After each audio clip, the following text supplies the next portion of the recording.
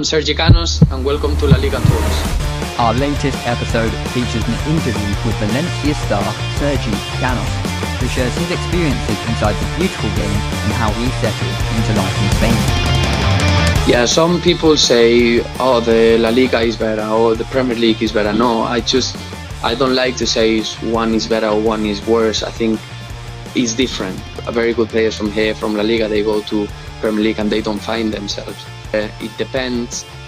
It really depends on your type of football. Listen now on YouTube, Spotify, and Apple Podcasts.